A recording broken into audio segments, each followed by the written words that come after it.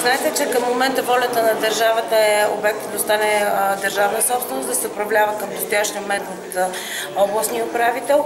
Съответно, разглеждането на изготвяне на документация за това дали една сграда е паметник или не, тя се извършва от Националния институт за недвижимо културно наследство, след което се разглежда в, в СЕСОН. В този ред на мисли върви проучване на, на сградата и след това трябва да се произнесе специализирания съвет.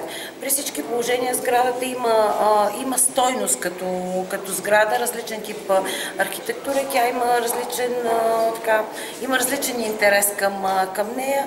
Аз съм за това сградата да бъде, да бъде запазена и при възможност да бъде отворена за посещение. Когато се произнесе специализирания съвет, ще ви кажем дали паметник на култура. А има ли възможност и за помощ от страна на Министерството по някакви проекти, за да може да се запази и съхрани сградата? Министерството на културата има целеви програми, които отпуска всяка година. Едната от програмите е само за обекти, които са културно наследство. В този смисъл, ако сградата е паметник на културата, да, може да кандидатства.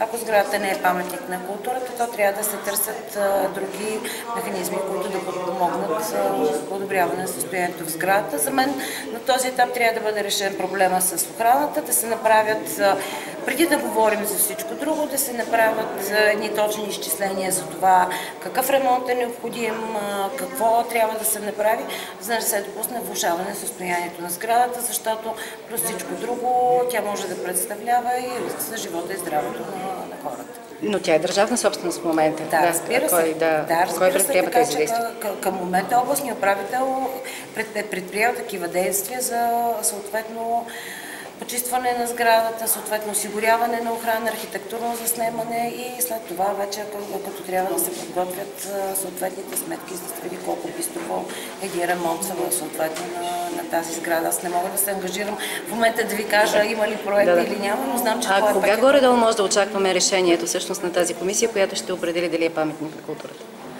Трябва, не мога да ви кажа, не знам Месец, кога. Това... По принцип, политиката на Министерството на културата е специализирания съвет, който до сега се събираше а, изключително рядко при внасяне на преписки, да речем на 2 или 3 месеца. Веднъж той да се събира всеки месец и всеки месец ние да можем да съответно да минем първо по най-спешните процедури. Чухте, ако обърнахте внимание, аз мисля, че това ще ме питате кога, а, че всъщност сега предстои, това е една изключително тежка, тежка работа като, като проучвания. Сега предстои да се изготвят досиетата за тези обекти, които са изключително важни. Първо общи устройствени планове. Това работи Нинка на момента. Това е приоритет. Работят всички граници, режими и всички документи, които касаят обектите от национално и предимно от световно значение. Знаете, че един плановете за управление се възлагат от, от самия министър, това, за да стигнем до там да могат да бъдат обявени паметниците, има да се свърши много друга работа, която минава през този съвет и към момента работим приоритетно по всяка една от тези задачи, така че да, да няма нещо, което да отлежава дълго време в, в пространството. Мисля, че съветът е доста експертен. Всъщност аз съм тук от 3 месеца, сега съветът се е събрал, събрал два пъти и то по доста, доста горещи теми. Предстои да се обсъждат в този съвет и теми, които са свързани с големите инфраструктурни обекти, там където засягат паметници на културата. Така че когато са готови колегите ни от Националния институт, тогава ще гледаме и точката.